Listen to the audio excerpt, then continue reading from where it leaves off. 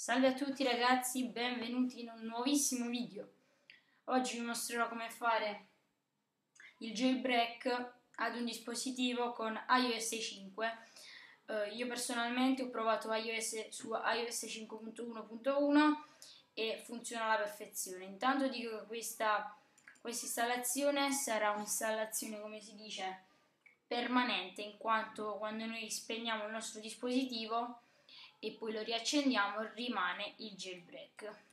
Naturalmente se quel jailbreak non vi dovrebbe creare problemi basta ripristinare il dispositivo, ma questa cosa qui non succederà perché con, con questo metodo verrà come si dice un'installazione diciamo pulita, un'installazione pulita va.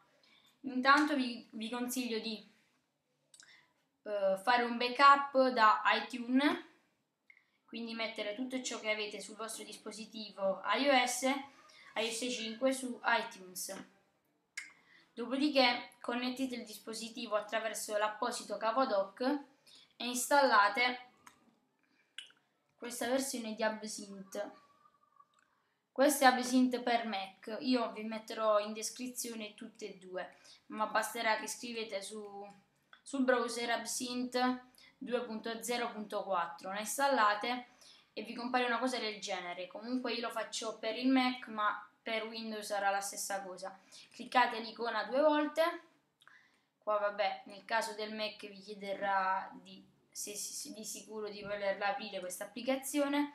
La apriamo. Dopo aver connesso il nostro dispositivo in questo caso un iPod Touch di quarta generazione vabbè l'ho fatto anche con il 3GS però vi faccio vedere quello che ho fatto io. Connettete il vostro dispositivo che sia iPad, che sia iPhone o che sia iPod Touch, dopodiché qui il pulsante jailbreak sarà spuntato in nero, io visto che non ho connesso ancora nessun dispositivo, visto che l'ho già fatto, non me lo fa cliccare. Allora cosa dovete fare? Connettete il vostro dispositivo con iOS 5.1.1 ragazzi, ricordatevi 5.1.1 se non avete questo aggiornamento con, questo, con questa versione di Absinthe non potete fare niente, potete andare a danneggiare il dispositivo.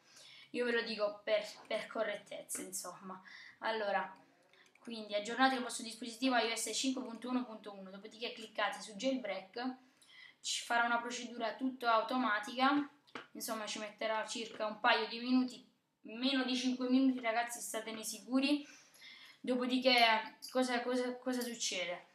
Dopo che la barra del caricamento arriva alla fine, voi potete staccare il dispositivo, staccare dalla dock, riavviate il dispositivo e vi troverete Cydia già installato. Poi vabbè, dovete mettere apposite repo per installare da Cydia. Quindi questo è come fare il jailbreak eh, con Absinthe su iOS 5.1.1. Noi ci vediamo al prossimo video, salve a tutti ragazzi, alla prossima!